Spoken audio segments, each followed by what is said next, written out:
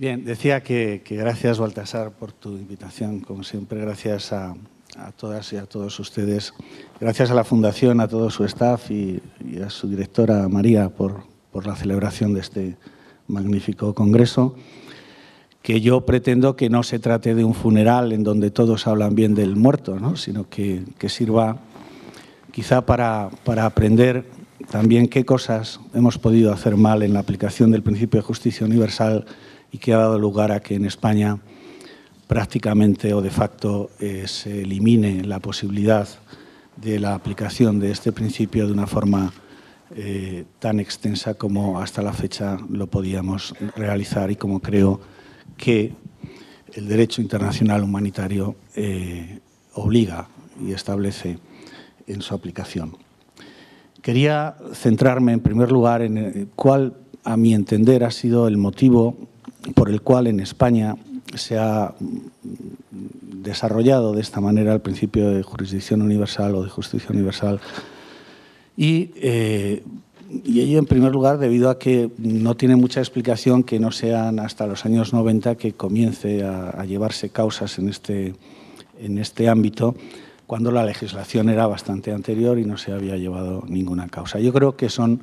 dos motivos principales. En primer lugar, el factor legislativo,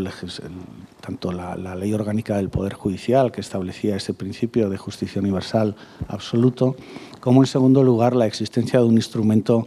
básico para que estas iniciativas tuvieran lugar, cuál es el de la existencia en España de la posibilidad del ejercicio de la acción penal y civil eh, tanto por los perjudicados como por aquellos que, sin ser perjudicados, quieren ejercer la acción popular, quieren personarse y ejercitar la acción penal. Ello ha dado lugar a que numerosas asociaciones, eh, tanto de víctimas como de no víctimas, asociaciones de derechos humanos, hayan acudido a la justicia española para iniciar estos procedimientos.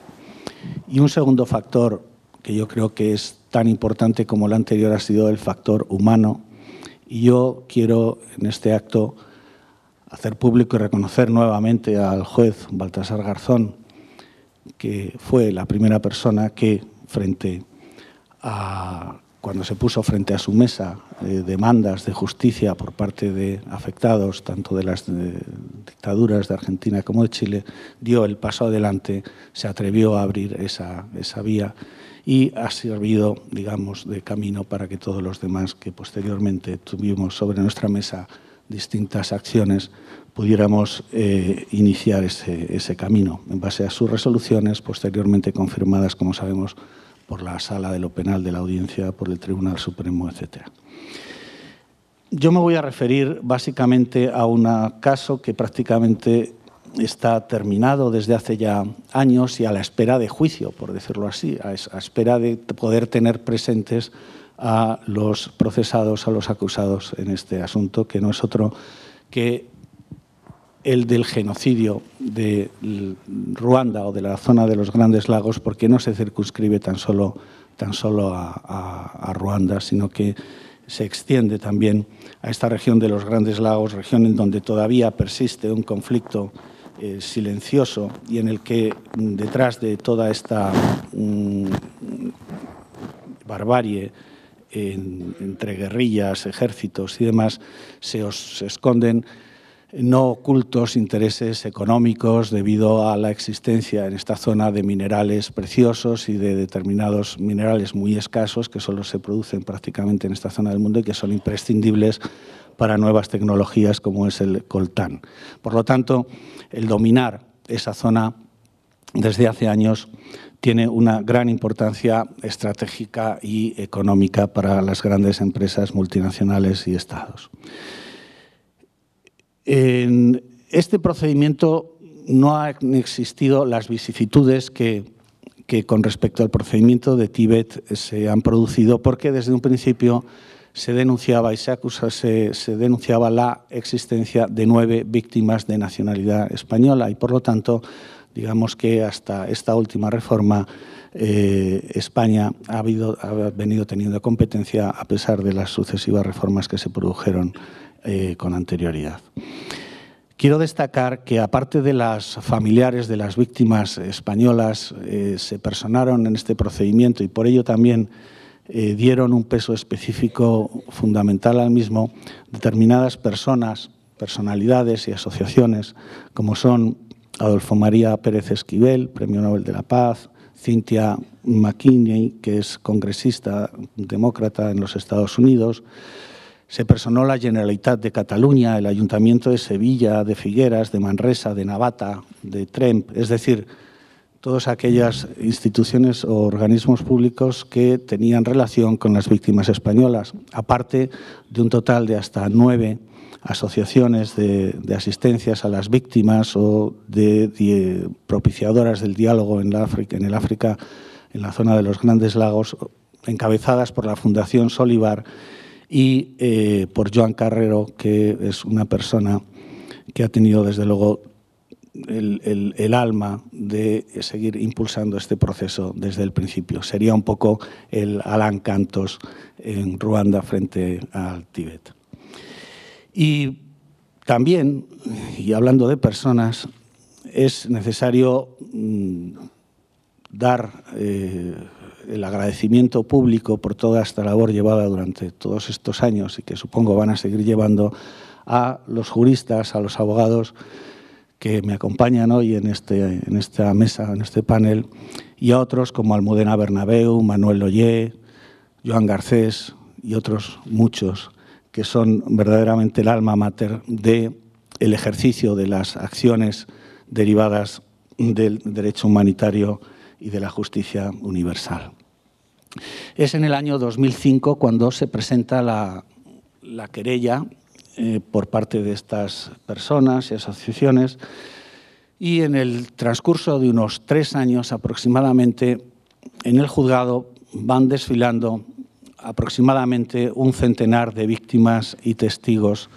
que son traídos hasta, hasta el juzgado con no pocas dificultades, tanto económicas por parte de las acusaciones que se tenían que hacer cargo del desplazamiento desde países de Europa y de África de donde estaban refugiados o vivían estas, estas personas,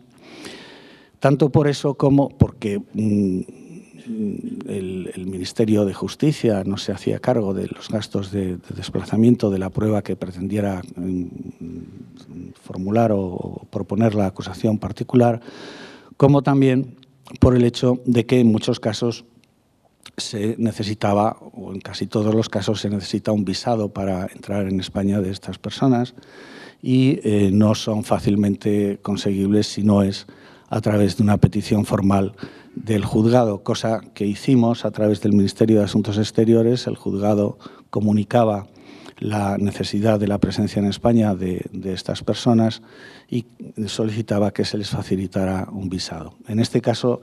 tengo que decir, y, de bien nacido ser agradecido, que el Ministerio de Asuntos Exteriores, con los distintos ministros que han podido ir ocupando este puesto, ha colaborado con el juzgado en todo, en todo momento, con la dificultad añadida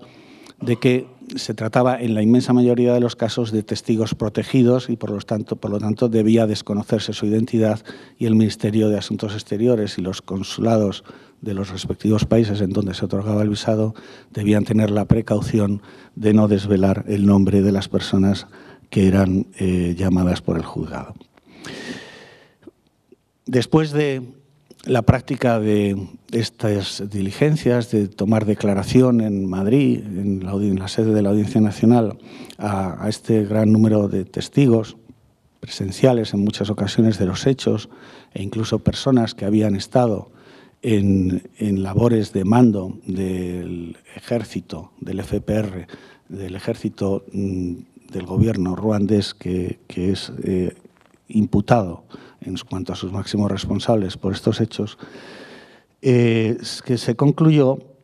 con un auto de fecha 6 de febrero de 2008, auto de procesamiento en el que se establecían cuáles eran los hechos concretos, objeto del procedimiento, cuáles eran las imputaciones que a, las distintas personas se les establecían y cuáles eran eh, las eh, normas aplicables en ese momento a los hechos que estaban siendo objeto de, investigación, concluyendo en que mm, la generalidad de los hechos y según a cada persona se le acusaba de los delitos de genocidio contra las personas y bienes protegidos en caso de conflicto armado, de integración en organización terrorista, de actos terroristas, de torturas, etc. El procesamiento conllevó el dictado de 40 órdenes internacionales de detención y órdenes europeas de detención y entrega respecto de las 40 personas, por regla general, altos mandos del gobierno ruandés en el poder en, ese, y en este momento, eh, a través de las cuales eh, se necesitaba su, inserción en los sistemas eh, policiales de Interpol o de Sirene, en el caso europeo, lo cual no, mm, generó también bastantes dificultades de cara a que muchos gobiernos, especialmente el de Estados Unidos en este caso, eh, pretendían que se denegara que se insertaran las órdenes internacionales de detención de estas personas, poniendo palitos en las ruedas, sobre todo burocráticos, en cuanto a la identidad, fecha de nacimiento, lugar de nacimiento, fotografía y datos eh, que mm, frente a a, las dificultades que se tienen cuando se está investigando una causa a miles de kilómetros de distancia y no se tiene acceso a los archivos públicos en donde se contienen esos datos, se iban proporcionando por el trabajo de las acusaciones particulares en este, en este ámbito. Es, por lo tanto, la primera de las eh, cuestiones que, que, debemos plantear, la verdadera dificultad con la que nos encontramos una autoridad judicial de un país extranjero y que no tiene eh, posibilidad de acceder a los, a los archivos públicos, a, los, a, la policía, ni a, ni a, ningún tipo de poder público del Estado que se opone a esa investigación, eh, la dificultad con que se cuenta para poder llevar a cabo esta investigación. Muy bien.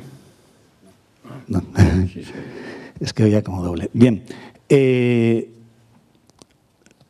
el siguiente punto de inflexión, por cuanto ya digo que una vez dictado el auto de procesamiento en el año 2008, es decir, en unos tres años, la investigación en lo que es el grueso ya habría terminado, aunque podían incorporarse nuevos testimonios,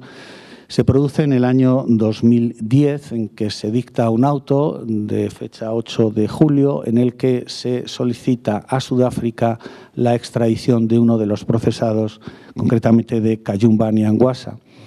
Esta persona, que eh, en principio era el segundo del régimen de Ruanda, del gobierno del presidente Paul Kagame, eh, por motivos políticos o del tipo que sean, em, decide plantarse frente a su jefe y empieza una labor de oposición a dicho régimen, teniéndose que refugiar en Sudáfrica. De repente tenemos conocimiento de que en Sudáfrica ha sido objeto de un atentado, ha sido tiroteado y curiosamente se le acusa al gobierno ruandés de haber planificado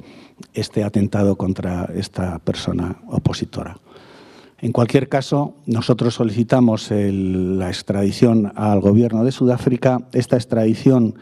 es aprobada por el gobierno español la tramitación de la misma en septiembre del año 2010 y, por lo tanto, desde entonces las autoridades de Sudáfrica tienen encima de la mesa esta petición sin que al día de la fecha, en, marzo, en mayo de 2014, se haya recibido ningún tipo de contestación al respecto. Bien, en la conferencia que nos ha dado eh, Kenneth Mann anteriormente, se hablaba de la importancia de que si no son o no es posible ser juzgados las personas porque no están ausentes, no están presentes y por lo tanto no se puede celebrar el juicio con ellas, si se conozcan los resultados de la investigación que se lleva a cabo. Y yo quería en estos cinco minutos que me quedan y aprovechando su paciencia, hacer o rendir un homenaje a esas nueve víctimas españolas que han sido objeto de investigación en mi juzgado durante estos nueve años y espero que podamos mantener el procedimiento abierto por alguna de las causas que para terminar luego les comentaré. Quería, quería, hablarles de Joaquín Balmayó y Sala, que es un sacerdote que desde el año 1965 fue a trabajar a Ruanda, en donde se dedicaba a obras sociales y de desarrollo en la diócesis de Byumba, que está al norte de Ruanda, pegado con Uganda.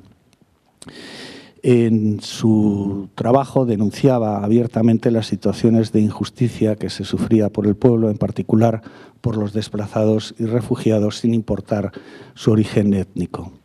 Llegó a escribir, y esto posiblemente fuera una de las causas que dictaran su sentencia de muerte, que los Tutsis han lanzado una campaña mundial de desinformación para hacer creer que los asesinos son las víctimas y las víctimas los asesinos. Realizó en este marco una serie de declaraciones a periodistas denunciando que en ocasiones se filmaba intencionadamente a cadáveres identificados como víctimas tutsis cuando en realidad, en realidad se trataba de víctimas hutus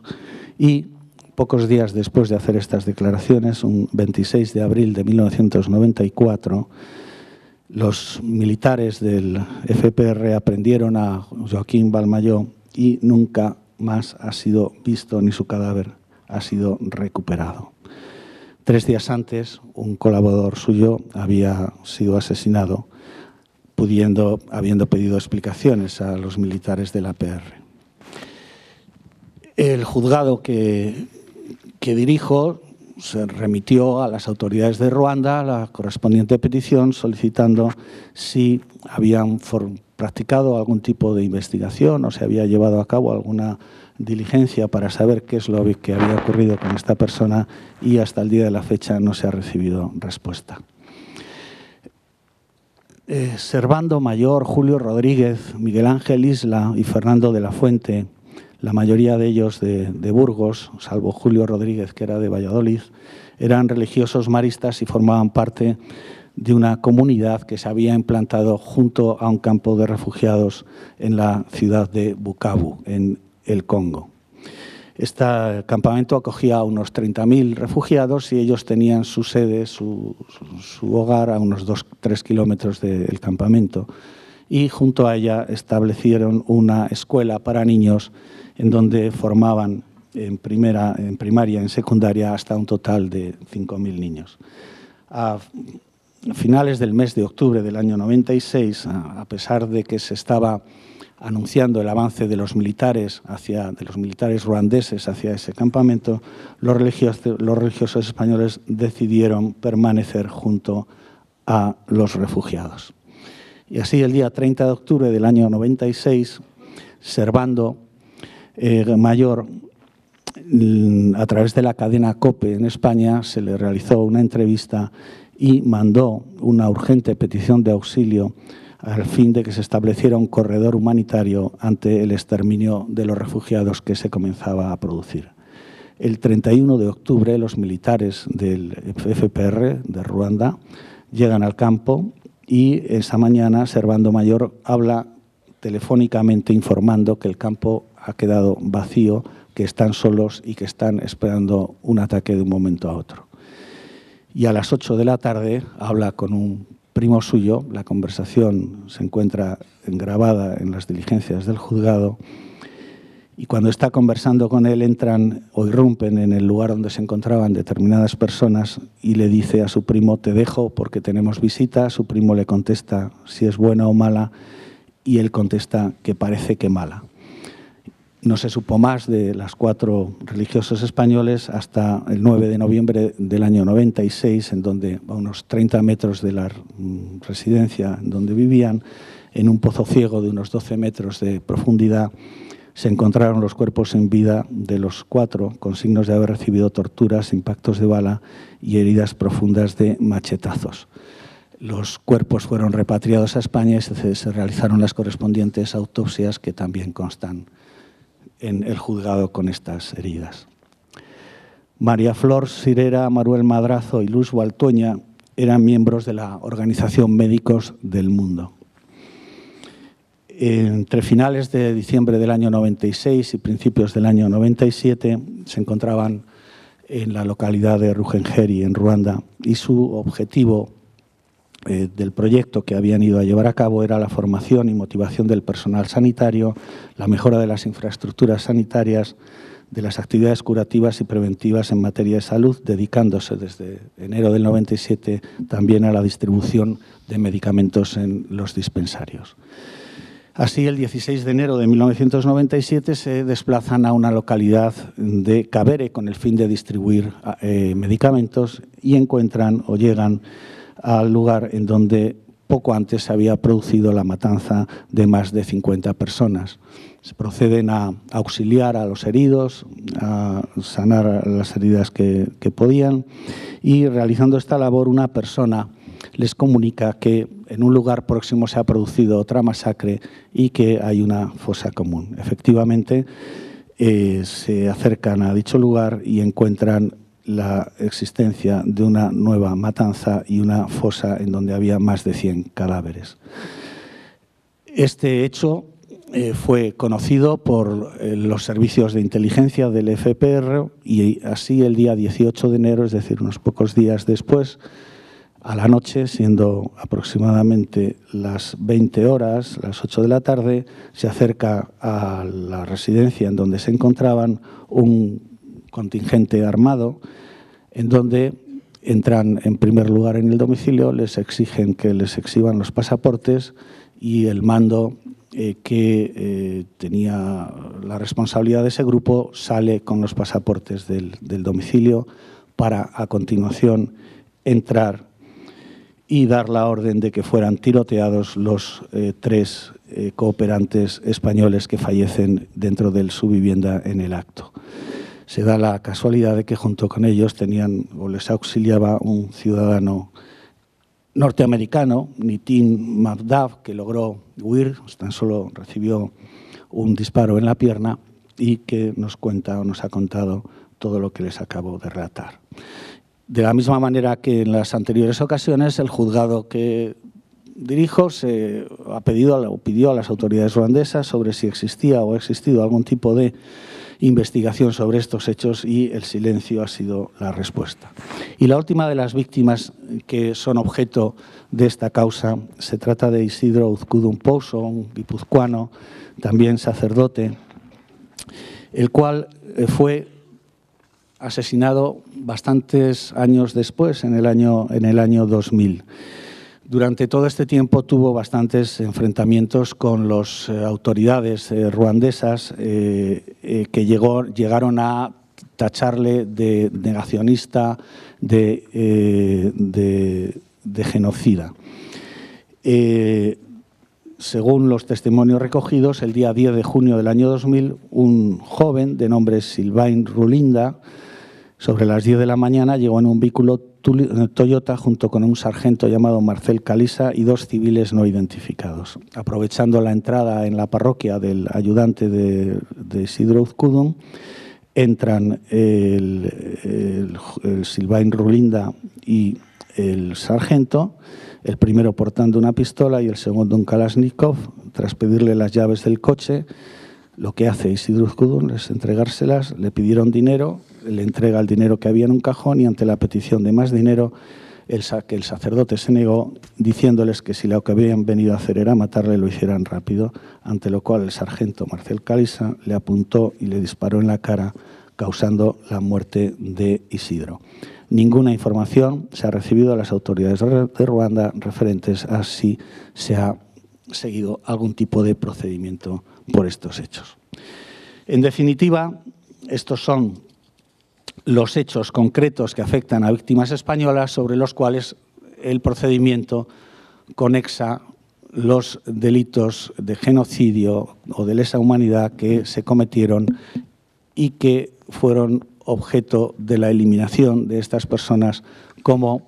testigos mm, incómodos o como personas que podían denunciar la existencia de estas masacres y que por lo tanto fueron eliminadas. Bien, eh, hasta aquí hemos llegado. Eh, la situación que se nos ha planteado con la reforma del mes de marzo de este año de la justicia universal es complicada, pero mm, yo creo que debemos ser optimistas frente a una reforma cuya técnica legislativa es tan chapucera que lo único que se ha conseguido hasta la fecha es que 43 narcotraficantes sean liberados y, sin embargo, no se haya archivado ninguna de las causas, o por ahora no se haya archivado ninguna de las causas para las cuales expresamente esta reforma se, eh, ideó. Y pienso que hay dos eh, cuestiones que, que deben eh, hacerse incidir desde el punto de vista estrictamente jurídico y que el Tribunal Constitucional, junto a otras muchas, sin duda, deberá resolver en su día. Una es si esta reforma vulnera el principio de tutela judicial efectiva y frente a los hechos que les acabo de exponer, ustedes mismos podrán hacer una reflexión sobre si las familias, si las víctimas, por lo tanto, de estos hechos ante la muerte de estas nueve personas se encuentran ahora o en la actualidad, si esta causa se archivase, en absoluta desprotección frente a los órganos judiciales, ya sea españoles, ya ruandeses, ya del Tribunal Penal Internacional de Ruanda, que tampoco puede conocer de estos hechos. Y el segundo de los datos que podríamos eh, tener en cuenta es eh, que el, Parlamento en sí está capacitado y tiene la obligación y la legitimidad de establecer, de dictar las leyes, pero la aplicación y la interpretación de las leyes las han de hacer los tribunales, en el régimen de separación de poderes que por ahora creo que existe en este país. Y que, por lo tanto,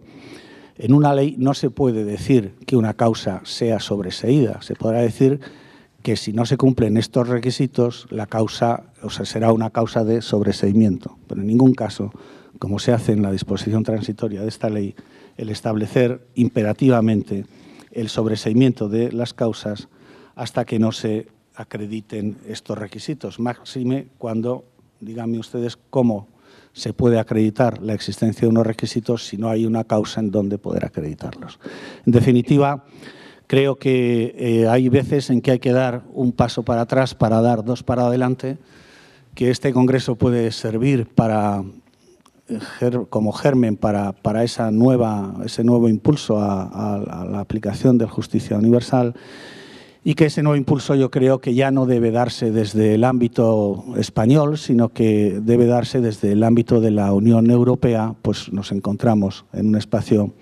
de libertad, seguridad y justicia común y, por lo tanto, considero que todos los países de la Unión deberían establecer unos mismos criterios de aplicación de la jurisdicción en materia de justicia universal. Muchas gracias. Ah, en cuanto a Fernando Andreu, si podría comentar algún aspecto más de lo que supuso el tema de Gaza las iniciativas que hubo respecto de Gaza y Palestina y la influencia que tuvo sobre el desarrollo de la jurisdicción eh, en España. Y por mi parte, eh, una reflexión eh, respecto de Fernando, ¿qué pasaría en este momento con el caso de los grandes lagos si, tuvieras, si se tuviera que aplicar la legislación en este momento? Muy brevemente, cuanto al tema de Gaza, como ha explicado antes Baltasar, se interpuso una querella por víctimas palestinas de del lanzamiento de una bomba de una tonelada de peso sobre una vivienda en la franja de Gaza por parte de las autoridades del ejército de Israel para o con el fin de acabar con la vida de un miembro de Hamas llamado Salah Sejadeh. Efectivamente acabaron con la vida este, de, este, hombre, pero también acabaron con la vida de 14 personas más, eh, entre ellos ocho niños que residían en la vivienda del sur,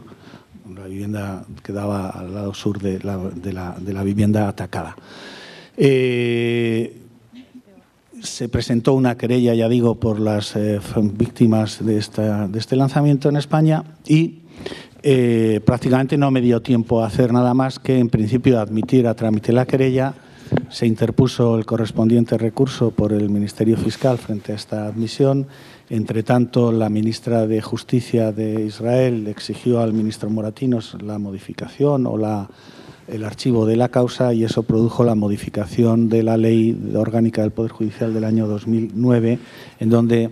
se limitaba eh, la jurisdicción española al supuesto de víctimas españolas o que hubiera intereses relevantes, etcétera. Con lo cual, la causa hubo de ser archivada. Pero, en cualquier caso,